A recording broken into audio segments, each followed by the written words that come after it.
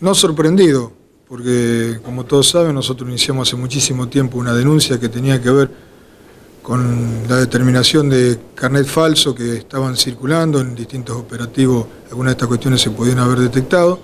y por otro lado porque era vox populi en la ciudad que, que se podían sacar carnet, se decían, eh, sin tener que hacer todos los trámites que normalmente hace cualquier ciudadano, fundamentalmente de este municipio. A partir de eso se, hicieron las denuncias respectivas, se insistió mucho con este trabajo porque nosotros continuamente lo estábamos impulsando porque eh, periódicamente nos venían a decir que aparecían carnet eh, que de alguna manera estaban falsificados. Bueno, le dio impulso la, Fiscalía, también la, Dirección de Investigación de la Policía, que, que también es bueno decirlo, que que fue un proceso, si bien uno tenía ansiedad porque quería rápidamente resolver la situación, fue un, proceso que tenía que ver con las escuchas telefónicas, con recabar pruebas, etcétera, etcétera, lo que terminó en esta cuestión con la imputación a toda esta gente. Entonces digo, contento por un lado, fundamentalmente porque hasta el momento no hay ningún empleado municipal, eh, digamos de alguna forma, en, la causa que, tenga alguna cuestión comprometida, si bien la situación, la fiscal Considero que la, investigación todavía no está terminada, pero a priori se sospecha que los carneros han salido del municipio, sino que hay toda una, una banda, para llamarlo de alguna manera, que se dedicaba a todas estas cuestiones. Seguramente habrá otras situaciones que, la fiscal seguirá investigando, pero conforme porque también esto le trae tranquilidad a la, a la ciudadanía, que sobre todas esas cuestiones que nosotros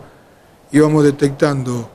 en el municipio, a sabiendas que alguien nos comentaba que pudiera tener alguna connotación dentro del municipio, nosotros hemos abierto todas las investigaciones correspondientes, lo mismo que lo hemos hecho en su momento con, con la querella por el loteo, con distintas cuestiones,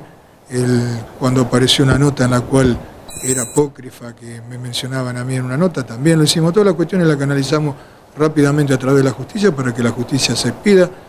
porque creo que en ese ámbito es donde uno tiene que hablar, y no eh, ustedes sabrán que nosotros no hemos hecho ningún comentario a lo largo de este tiempo sobre esta situación,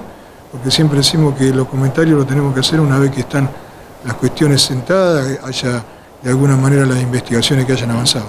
Intendente, eh, vale la pena destacar eh, que todo esto se logra gracias a un control vehicular que realiza la municipalidad con el área de tránsito, ¿no? Sí, esto es importante porque los, los mismos empleados también eran, necesitaban de alguna forma saber esto, porque como, como siempre la gente,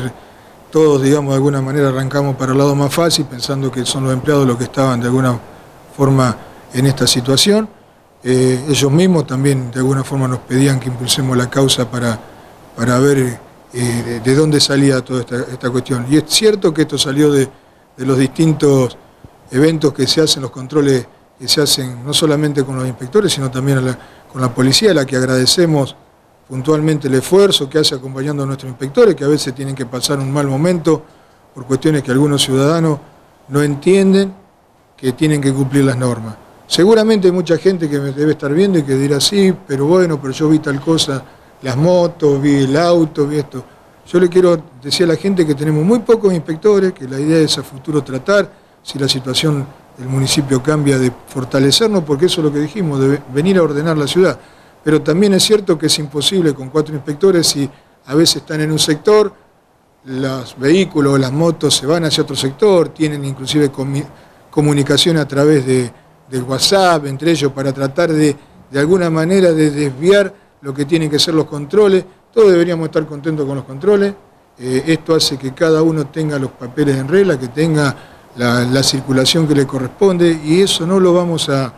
a bajar, muy por el contrario, vamos a insistir. De hecho, este fin de semana también estuvo Gendarmería, yo hablé con el, general de,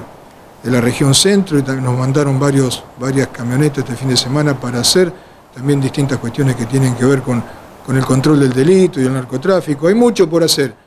Eh, está bueno que nos controlen, eh, porque en estos controles surgen estas situaciones que a veces eh, no solamente ponen en evidencia un delito, sino también en muchos casos nos previenen de otros.